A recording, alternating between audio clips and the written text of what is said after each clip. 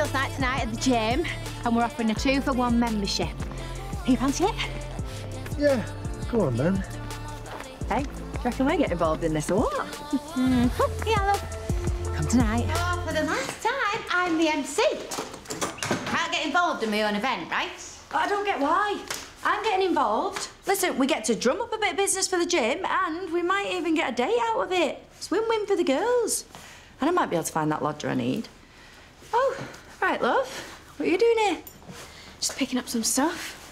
What's that?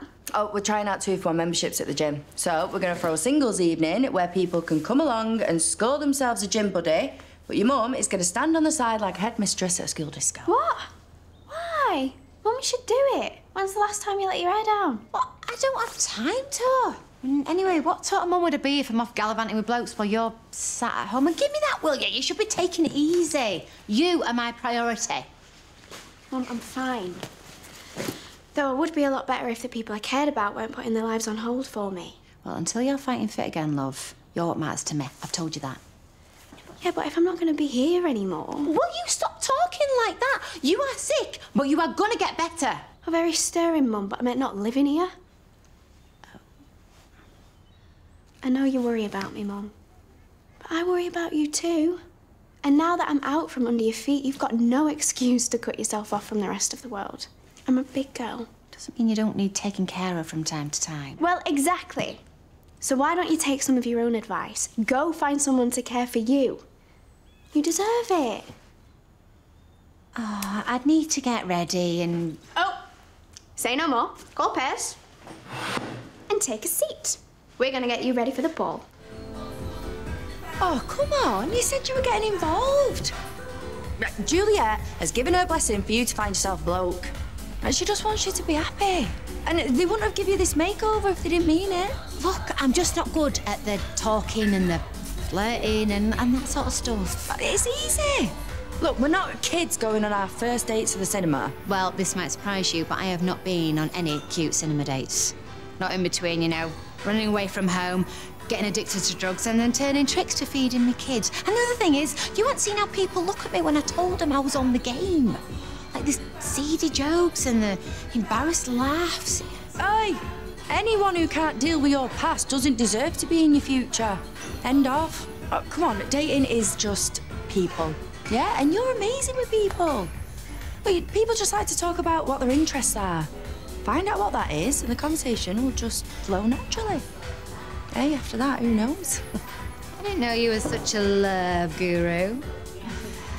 Tell you what, why don't you uh, show me how it's done? What? With his holiness? Mm-hmm. It's not too bad to look at, is it?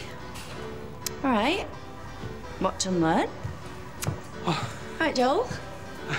All right? Yeah. so, how are you? Are you still into God and all that? Well, collar or no collar, once you let him into your heart, he uh, tends to stick about. Right. Amen to that. He's great, isn't he? Jesus. Oh, yeah. I can say I'm a fan. So, um, you know, some people, they, they don't think that long hair suits blokes, but I think Jesus really pulled it off. Some would say that was maybe one of his greatest achievements.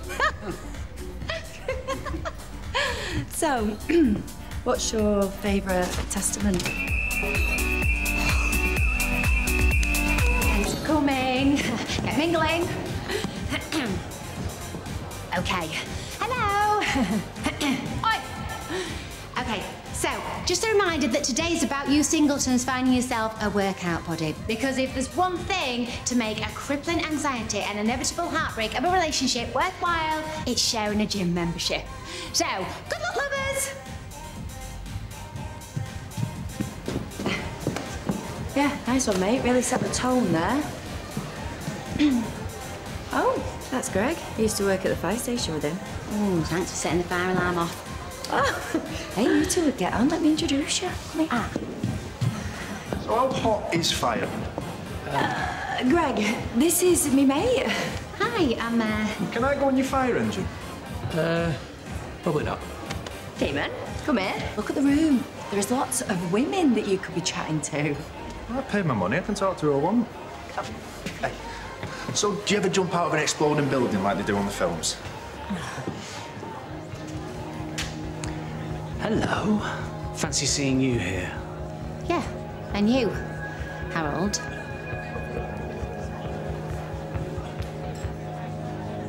Hey, is it just me or are those two getting on like an house on fire? Just as well there isn't an house on fire. Most of the stations seem to be here.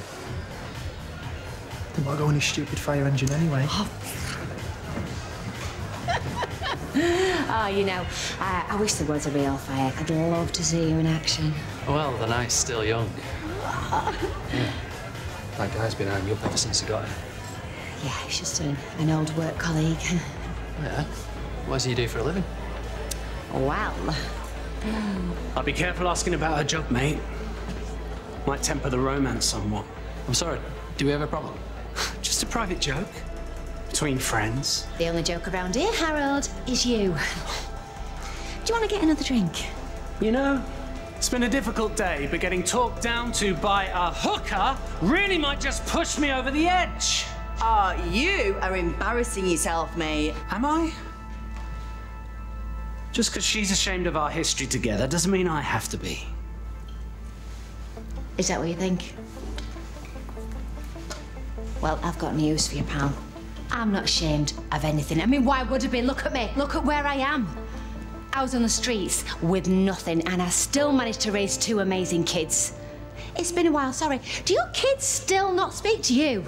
Because no one here wants to either, so if you don't mind, do one. You can't kick me out. Actually, yes, I can. I own the place.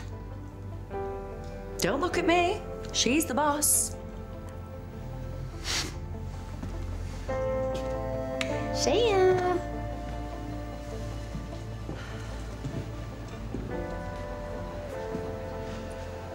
I'm so sorry about that.